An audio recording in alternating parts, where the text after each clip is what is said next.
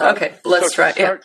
start with device. It's, the interesting thing about medical devices, and you've probably seen this as well, Anna, where you can have really high tech products coming that are kind of newer iterations of something uh, that's been around for a long time.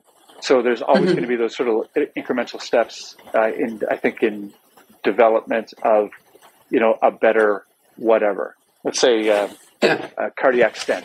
I mean, cardiac stents went from being little springs that would open up the arteries to little springs that would open up the arteries to with that were drug coated to to reduce thrombosis. Um, uh, so every incremental step, let's say with cardiac stents, is just a little bit, a little, a tiny little bit better. Um, I think the real, the real game changing, I think, in our industry is going to come with um, maybe actually growing human organs. So we're no longer going to be fixing them. We're going to be using stem cells and growing organs. And I think that's, mm-hmm. I don't think that that could be within 10 years. Who knows? Um, I think a lot of the traditional devices, it's amazing, and you've probably seen this too, Anna, when you read the history of certain surgeries and you go, oh my God, they've been doing this thing for 500 years. Like literally.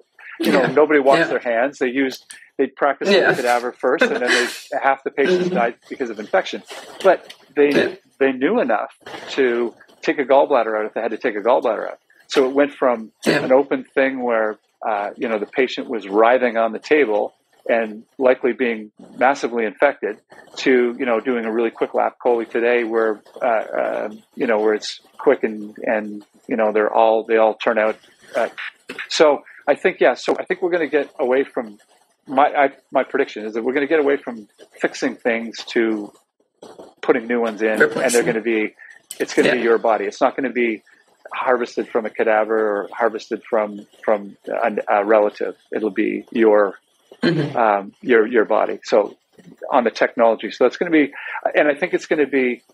Uh, it, there's going to be a huge uh, uh, leap when we get to that point. It's not going to be just iterations anymore. It's going to be boom. This is the next thing.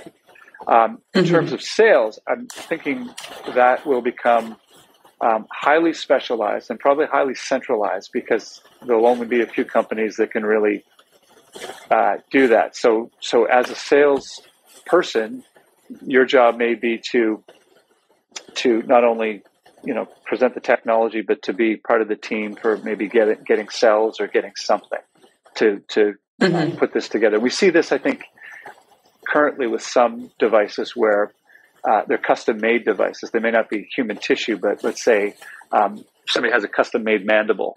Uh, so you go in and scan the patient. Uh, you'll be mm-hmm. part of mm-hmm. the team as the rep, the mandible, the measurements are sent to the lab. They're made out of the material of choice and then sent back. So you're again part of the team. So I think the days of just going in and you know here's what I've got and uh, you know do you want to buy some or not are going to be over. It's going to be very specialized and you're going to be uh, integrated in the team with with the yeah. physicians. Yeah, I agree with that.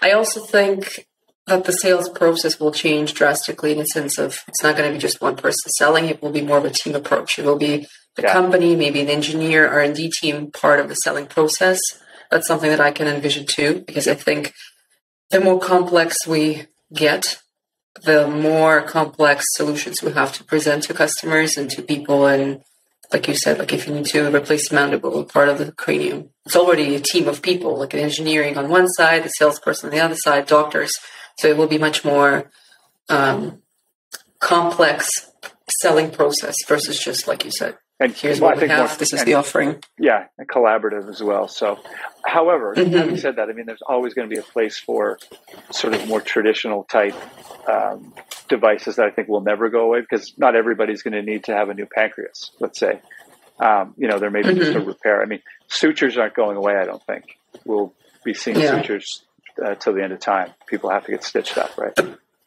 But the question I would have: Do you think we will need people to sell sutures, or it will be more of a we're going to go online and shop online and choose it online versus talking to a person? Because that's another trend I see after the pandemic, yes. and I don't know if that's what you yes. you see as well. Yes, unless I think the the days of, of sort of um, uh, very specialized sales are going to go away for those mm-hmm. sorts of products that are more commodity type products.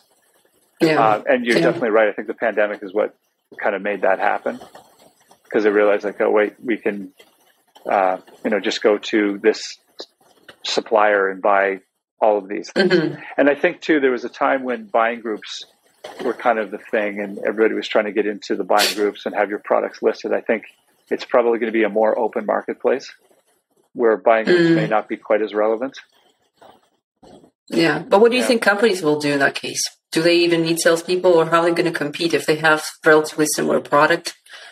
And You know, I think I think you always need because at the end of the day, the surgeons, the the physicians, uh, they're going to be human beings, and I think human beings Mhm. always want to speak to human beings. I have an interesting anecdote. A, a buddy of mine um, built a company, and they ended up selling it to, to IBM for uh, it was a tech company for about six hundred million. It was a huge uh, a huge sale, and uh, Mhm. this guy is the least techie guy I've ever met in my life. He doesn't even to this day does not even own a, a, a phone, and that's sort of by design.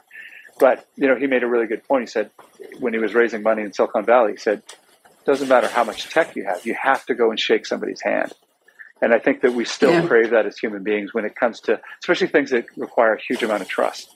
I mean, we have to look the person in the eye and, and you know, and, and know them. So Mhm. there's always going to be a place, I think, uh, as a salesperson, it will be definitely more collaborative with a team of people, but there's always going to be that sort of lead that has to go in and make the original uh, initial contact. Mhm. Okay. Yeah. But do you think COVID changed that part, the handshake part? Maybe it's not as important anymore, or you still think we're back to normal and Oh, a- people will. Great question. and I, you know, it, it's tough, I think, for you and I because we have been in this industry pre-COVID, so we have our Mhm. connections already, and somebody can call you and say, "Hey, Anna, um, I need this, or I want to talk to you about this," and they know you already because you've done that legwork in the past. So, Yeah. tough Yeah. question. I don't know how to answer that one, to be honest, because I'm coming from a bias of already being kind of in the door, I guess. hmm Um, Yeah. however, I can say this that you know the first time I did a, a Zoom call where I was in servicing a product uh, for a group of um, I think it was a group of nurses, uh, it was very seemed very very strange. But then after the third or fourth time, I thought, wow, this is actually really efficient because I'm doing a an in service for a group in Regina. I'm doing it at home. They can zoom in to see my hands manipulating the device to see how you load the device and do all these things. So it became probably more practical than standing in, you know, a treatment room at the hospital. Far away. to- right, trying to go through it with the staff. So um, I think certain things, yes, and, and it's forced everybody to adopt more technology, and and and it'll shake out. We'll figure out what works and what doesn't work because it'll we'll have to. hmm But I think there's still always going to be somebody, a point person, going in and, and making connections and putting the, the getting the balls, uh, the, the wheels in motion.